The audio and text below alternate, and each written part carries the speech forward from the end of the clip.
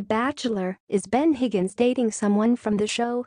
Fans have been really rooting for Ben Higgins for a while now.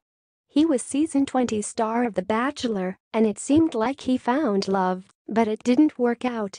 Now he has revealed that he is dating someone new. Is she from The Bachelor too? Here is everything to know about his new relationship. Former stars and contestants of The Bachelor tend to date each other after the show.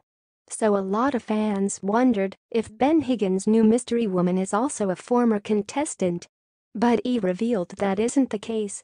She's not from Colton's season, Ben Higgins said on the podcast, Ben and Ashley I almost famous. Not at all. Not from the show.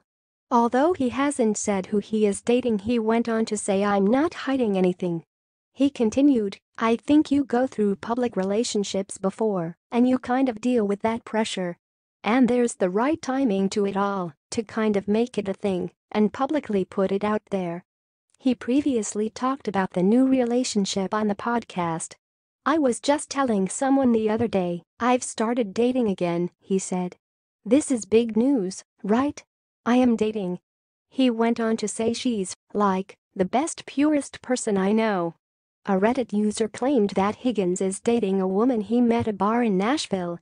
The post reads apparently the story was that Jessica and Ben had briefly met at a bar in Nashville a while back, and she kind of forgot about it he didn't seem interested at the time. A couple months later he slid into her DMs saying something along the lines of I just saw a photo of you pop up on my Explore feed and remember meeting you in Nashville.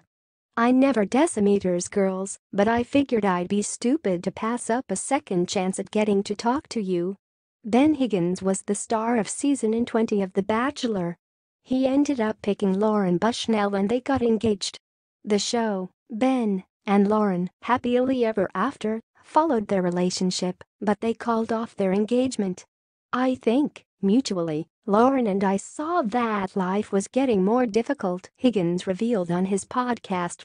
I would say the joy that we felt toward our relationship at the beginning was, for some reason, slipping away, and we were both working very hard to bring that joy back. And it just never seemed to get there.